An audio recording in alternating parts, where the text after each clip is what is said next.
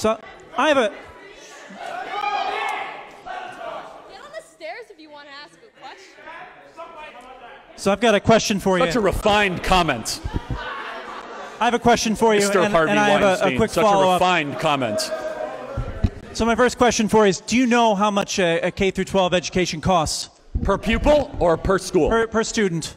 Depends, depends on the school district or state. Let's let's talk about an average. So, so per year, on average, it's about $18,500 per pupil, depending on the city or municipality or state. It can go as high as $27,000 per pupil if it's second through fourth grade in Chicago, or it can go as low as $14,100 per pupil if it's private or charter school, which actually has proven to bring down the price of education. So, thank you for the trivial pursuit type question. I'm actually surprised that you had such a comprehensive answer to that. So Yeah, I'm sorry, what? I'm surprised you had such a comprehensive answer to that. So kudos to you.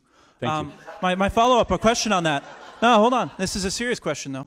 Um, you know, if you're if you're advocating for uh, pure uh, capitalism, More of a We're- capitalist society, sure, most absolutely. sure. Uh, which- one of the things you need to talk about is education, right? talk and about it. Education, uh, it's a huge amount of taxes, huge amount of spending per student across the country. You know, we're looking at tens of thousands per year. Now, in, in a communist society, let's or sorry, not communist, capitalist society, uh, let's say there are none of these taxes.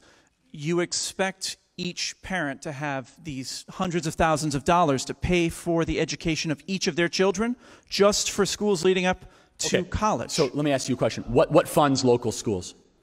property taxes, federal taxes, and a load of other So taxes. wh- what's the predominant funder of local schools? the most important one's going to be property Pro- taxes. Property tax. Have I ever advocated for the abolition of property taxes?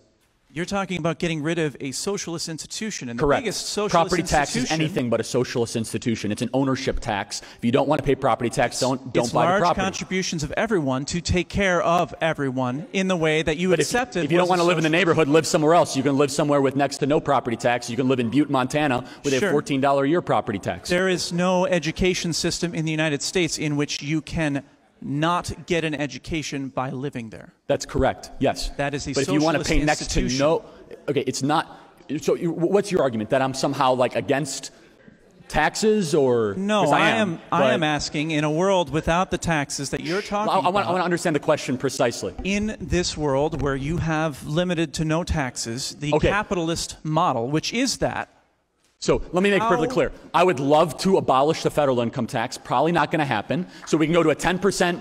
Everyone pays 10%. That's plenty of money to fund essential government services. Now, let's talk about funding of schools. I've never, not once, said get rid of property tax. There's more than enough money in the property tax system, in the state tax system, and in the other ways that we fund education, such as the lottery and other government revenue services, to effectively fund public schools if if you're able to fire bad teachers and fight public sector teacher unions. If you're able to do that. If you're able to do that. Thank you.